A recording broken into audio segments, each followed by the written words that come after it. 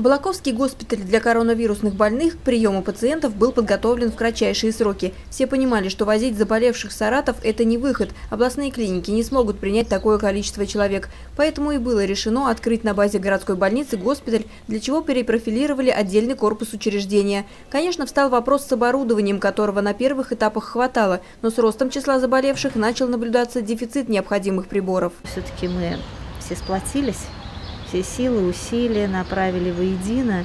И очень приятно, когда в этом оказывают э, помощь и большие предприятия. Огромные слова благодарности в адрес Русгидро за то, что они тоже не остались в стороне. Гидроэнергетики пришли на помощь вовремя. С одной стороны, увеличивается число пациентов коронавирусного госпиталя, а с другой, как раз заводы-изготовители медицинского оборудования подняли объемы его производства, а потому приобрести необходимое можно в кратчайшие сроки. Быстро они сорганизовались, быстро все решили и буквально... То есть вот вопрос возник, что нам нужно дополнительно еще средства индивидуальной защиты, дополнительное оборудование.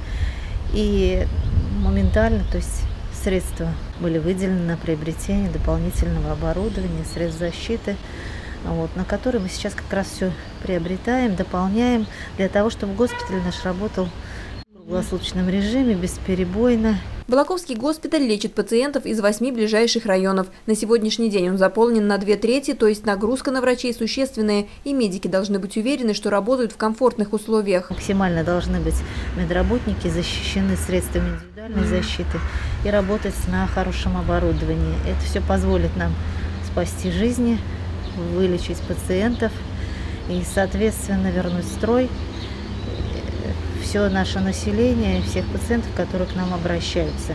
К сожалению, от коронавируса никто не застрахован, поэтому балаковцы положительно относятся к работе специального госпиталя. Говорят, в родном городе и стены помогают вылечиться. Зачем возить тяжело больных в Саратов? Пока довезешь, транспортировка, в тяжелом состоянии больные. Здесь дорога короче, что ж трясти-то по дороге по такой дальней? Я думаю, у нас тоже есть врачи, специалисты, которые могут с этим работать. Город должен быть готов в случае большого заражения людей. Саратов, ну, достаточно далеко ехать. Я считаю, что у нас население достаточно большое в городе. Поэтому удобнее, конечно, жителям, что у нас в городе есть такой госпиталь открыли. А между тем, Всемирная организация здравоохранения надеется, что Россия вышла на плато по распространению коронавирусной инфекции. Это значит, что количество заболевших скоро начнет постепенно снижаться. Но оборудование, приобретенное для борьбы с COVID-19, будет служить и дальше. Пневмонии мы лечим всегда. А, они есть каждый год и всегда, и особенно в сезон подъема вирусной инфекции, то есть зимний период, их увеличивается число этих пневмоний. Но сейчас время необычное, и вот ковидная инфекция, она всех, кто к нам поступает, практически а, в 95% с пневмонией. Поэтому оборудование то нужное, оно будет использоваться. Тот же бронхоскоп и те же аппараты ИВЛ – и, там и рентген-аппарат, они нам нужны всегда.